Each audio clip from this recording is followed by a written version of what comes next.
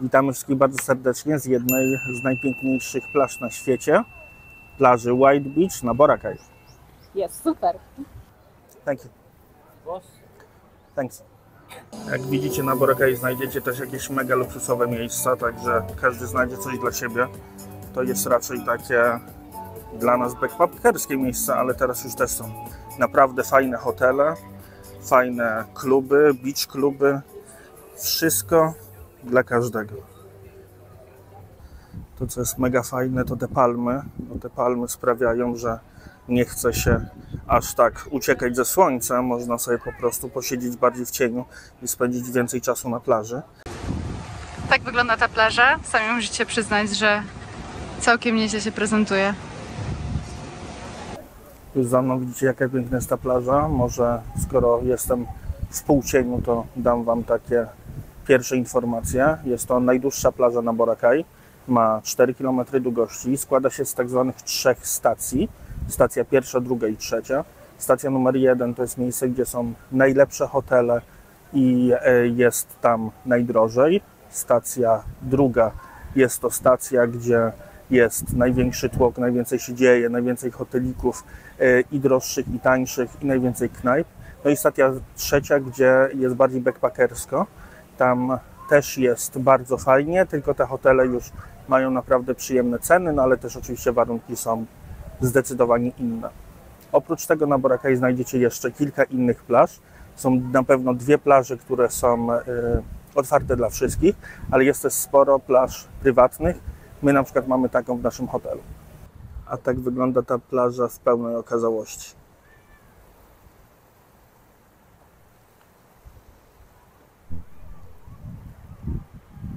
Na tej plaży można wszystko robić. Możecie wynająć sobie łódkę, popłynąć gdzieś dalej. Możecie wynająć sobie łódkę i popłynąć tutaj bardzo, bardzo blisko. Są kajaki, są jetski, są przede wszystkim takie przeźroczyste kajaki, gdzie można sobie zrobić fajną sesję. I oprócz tego można oczywiście popływać. Nie przejmujcie się tym, jak teraz wygląda ta plaża. Jesteśmy akurat w trakcie bardzo dużego odpływu, ale naprawdę normalnie jest tutaj przepięknie. Jeszcze jedna ważna informacja, jak ktoś lubi helikoptery, no to tutaj helikoptery też są. Można sobie przelecieć się dookoła wyspy helikopterem. To oczywiście już trochę droższa wycieczka. No i ostatnia rzecz, którą koniecznie muszę Wam powiedzieć, to jest plaża na zachód słońca.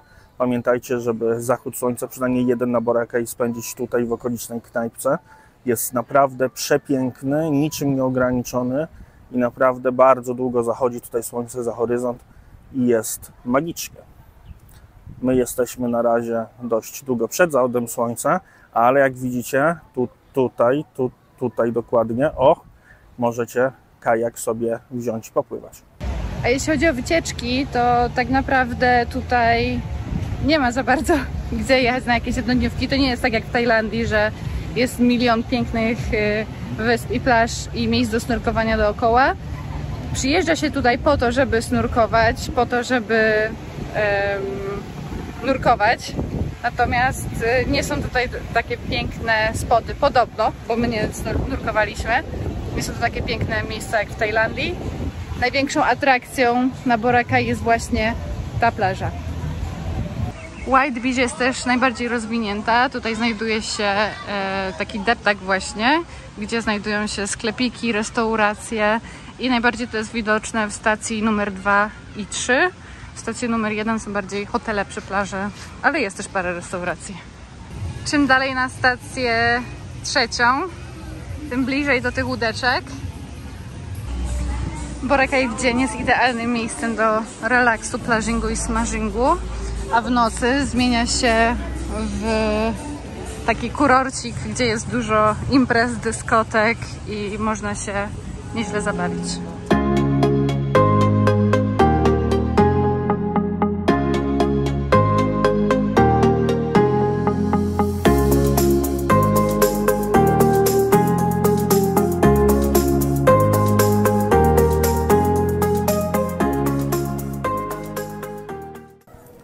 Jeżeli widzieliście właśnie szuciki z drona, to znaczy, że nas nie zamknęli. Policja przyszła, powiedziała, że nie mamy prawa tutaj latać, na Boracay jest zakaz i e, rzeczywiście jest problem e, z tym, żeby w ogóle nawet mieć ujęcia. Poprosili, żeby je skasować. Mam nadzieję, że nie będą tego respektować jakoś mocno, ale zobaczymy. Jeżeli te ujęcia są, no to znaczy, że wszystko się udało. A ja chciałam dodać, że w międzyczasie zatrzymaliśmy się w restauracji, żeby zjeść e, najdziwniejsze jedzenie, jakie jedliśmy. Ja dostałam jakieś suszone ryby, w ogóle z sałatką z ogórka z- i pomidora. Było to dziwne. Yy, I nie dość, że było dziwne, i nie dość, że niedobre, i nie dość, że nie zjedliśmy, to jeszcze czekaliśmy chyba z godzinę, więc teraz szybko lecimy na następną plażę. Boracay jest e, stosunkowo małą wysepką położoną na morzu Visayan, niedaleko Palawanu zresztą, e, w środkowej części Filipin. E, Długość tej wyspy wynosi 7 km, a szerokość w najszerszym jej miejscu to jest e, około 2 km. Jest tutaj, jest to malutka wysepka, więc nie ma tutaj lotniska. Lotnisko znajduje się na okolicznej wysepce. Ale jak widzicie, ludzi jest bardzo dużo, także mała wyspa, mega popularna. nie odstrasza to ludzi.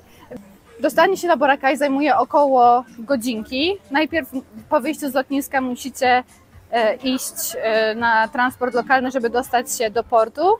E, Najłatwiejszą formą transportu są e, trycykle, te elektryczne takie trycykle, które jeżdżą tutaj po obu wysepkach. Transport trwa około 10-15 minut, później lądujecie w porcie, gdzie musicie załapać się na prom.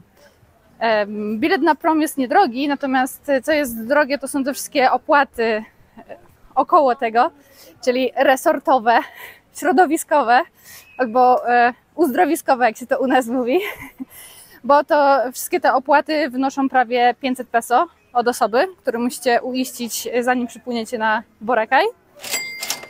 I później, jak już przepłyniecie promem, musicie znowu tutaj na Boracay złapać albo trycykla, albo e, na przykład e, kupić sobie bilet e, dzienny. Można sobie kupi, kupić bilet na Hopon Hopow, który kosztuje około 250 peso. No i tak się dostaniecie do swojego resorciku. Jest też inna metoda, z której my korzystaliśmy. My po prostu wykupiliśmy sobie transport zbiorowy już zorganizowany. E, Płaciliśmy za to 900 e, peso od osoby. Transport w obie strony. Zdecydowanie polecamy, jest to dużo lepsze, dużo prostsze, zabiorą Was, odbiorą Was, nie musicie się niczym martwić, a kosztuje mniej więcej tyle samo. Dokładnie. Od plaży w stronę centrum wyspy prowadzą takie uliczki, gdzie Zaułki. zaułki. Idziemy wzdłuż między hotelami, żeby dostać się na plażę po przeciwległej, po przeciwległej stronie wyspy. To często są tyły hoteli i tyły kuchni, więc zapachy są tu super. Nieziemskie. Niezapomniane. O, tego słowa mi brakowało. Niezapomniane. Jak pierwszy raz byłem w Azji, byłem w Bangkoku, to zapamiętałem taki intensywny zapach zgniłego jaja. To właśnie czuję tutaj. Czasami z klimatyzacji jak źle zapachnie. No to się zgodzę. Ale ja chciałam dodać tylko, że em, Boracay jest e, wspaniałą wyspą. Jest to taka imprezowa wyspa. E, Pierwszy raz jak tutaj byłam, to nasza niezapomniana noc na Boracay e, skończyła się jedną koleżanką śpiącą na plaży, zupełnie zapomnianą. Przepraszamy Doris. Pozdrawiamy. Pozdrawiamy. S- Skończyło, skończyły się chyba porwanymi klapkami, czy tam japonkami na parkiecie i prawie skręconą kostką oraz jakimś atakiem nożownika pod 7-Eleven, także działo się. Pozdrawiamy ekipę. Tutaj Boracay bardzo dynamicznie się zmienia. Jak widzicie, są tutaj ciągle budowane jakieś nowe hotele, wieżowce i tak dalej. Bardzo znacznie się zmieniła od momentu, kiedy ja tutaj byłam 8 lat temu. Także widać różnicę gołym okiem. Zwłaszcza te trycykle elektryczne, których wcześniej nie było. A, a tutaj jak widzicie jest na przykład przystanek dla Hopon Hopow, busiczka. Jeszcze zapomniałam wcześniej powiedzieć, że transport z lotniska można bukować wcześniej, można bukować przez hotel. My bukowaliśmy akurat przez stronę internetową e, biura, ale można też bukować po wyjściu z lotniska. Tam są takie stoiska i bez problemu można się załapać. Dobra, słuchajcie, zmieniliśmy plany. E, olewamy plażę Billabong, która naprawdę się nie nazywa Billabong, ale jest tylko fajna z nazwy. E, Ona jest bardzo brzydka i nieturystyczna, e, przynajmniej postanowiliśmy tak zawierzyć ludziom, którzy tam e, byli. A my zabieramy Was szybko na plażę Pukaszel, która jest podobno jedną z najładniejszych na Boracay. Mamy nadzieję, że zdążymy. Wsiedliśmy w trycykla, wynegocjowaliśmy stawkę, którą chcieliśmy. No to mamy nadzieję, że dojedziemy szybko. Nieważne jaką metodę transportu wybierzecie na Boracay, zawsze będzie ona trochę bumpy.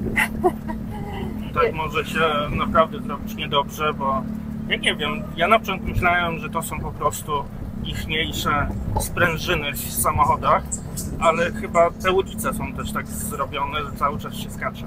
Dokładnie, jest tutaj bardzo wyboiście. Patrzcie, jakie wielkie hotele już tutaj budują. Także Komerha dotarła i na tą wyspę. Jest przeogromny. Jak jedziecie na tą plażę, to pamiętajcie, że będziecie przejeżdżać przez tą mniej ciekawą część wyspy, ale podobno sama plaża wynagradza. Oczywiście, że musiała jechać akurat tam, mam nadzieję, że słyszeliście, a ten, a ten hotel cały czas się tu.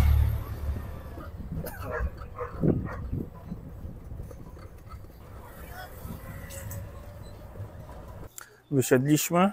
e, Był znak stopu, gdzie dalej nie można wjeżdżać, z bardzo ważną informacją, że za 38 metrów zaczyna się plaża. Także mamy kawałek do przejścia, ale ten kawałek chyba nie najdłuższy. Docieramy w sam raz na zachód słońca. Sama plaża jest przepiękna, choć niestety przez odpływ naleciało tu dość dużo glonów, ale idealna na zachód słońca. Ale jak się przejdzie przez glony, to patrzcie, jakie fajne foteczki można tu porobić. Nie wiemy, czy dobrze to widać, ale woda jest, słuchajcie, tak przejrzysta. Po prostu aż się nie chce wierzyć, że te glony stąd przychodzą. Jest przepiękne. No i tak się powoli kończy nasz kolejny dzień na wyspie Boracay. Będzie to już też ostatni odcinek z tej wyspy, bo przyjechaliśmy tu na krótko ale jeszcze postaramy Wam się co nieco pokazać. Plaża jest malutka, ale naprawdę urokliwa. Ma tylko 800 metrów. Natomiast y, jedynym minusem tej plaży w porównaniu do White Beach jest sam piasek, ponieważ y, w piasku jest y, dużo koralowca i muszelek i jest trochę ostre dla stópek. Tak jak mówimy, na zachód słońca jest idealna. Chyba się nam bardziej podoba niż White Beach. Tam trwa pasjonujący wyścig.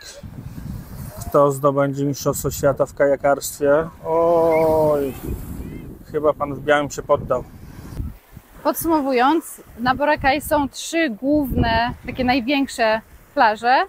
Najbardziej atrakcyjniejsza, e, żeby się na nie zatrzymać, jest White Beach i ona jest tą plażą, która jest e, podobno najpiękniejsza i jest tam najwięcej turystów. E, Kolejną plażą jest plaża, na której właśnie się znajdujemy, czyli Puka Shell Beach.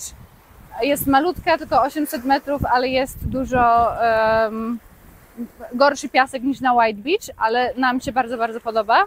E, No i trzecią plażą, która jest bardziej surferska na kitesurfing, jest dużo bardziej wieczna, jest ta Billabong Beach, e, czyli ta po wschodniej stronie wyspy. Tam nie udało nam się dzisiaj dostać, e, ale na pewno ma ona swoje zalety. Niemniej jednak z tego co czytaliśmy, e, najlepiej e, polecają zatrzymać się przy White Beach i przy którejś ze stacji, która Wam najbardziej odpowiada.